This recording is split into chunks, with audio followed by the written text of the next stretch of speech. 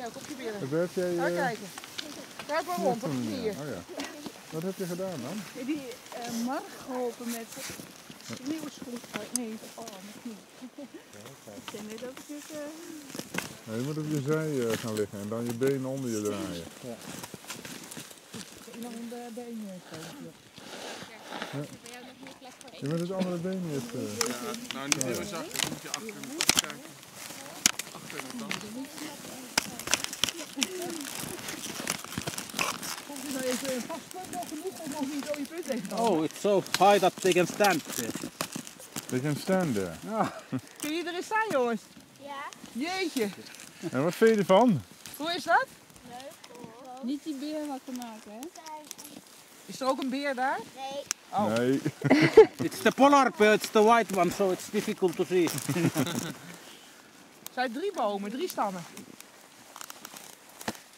Ja, hoef je niet eens met te bouwen. Staat gelijk. But really those brown bears, they are also sleeping under this. Uh, Under this kind of Ja. trees. and especially those are quite young ones who are first time making the winter house. Nou, They hey! don't have a really good skills. So they usually go just under the spruce and uh, die Was it nice there? all the ones there many times it finding Yeah? kind of like that uh, Murenhouse, the ant house, Okay. and they are digging it hollow, or maybe there is a tree that it's half fallen, so roots are rooted mm-hmm. up already, so it's easy to make a hole under it. Oké. oké. Hey, kijk eens, paardmos.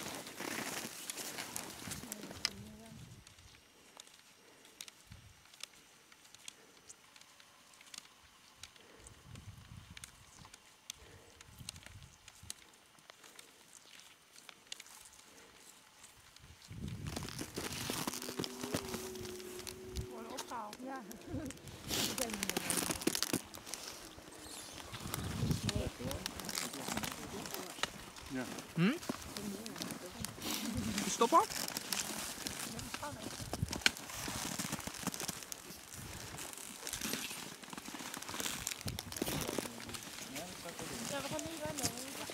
Nee, ik hou jullie echt wel in. Ja,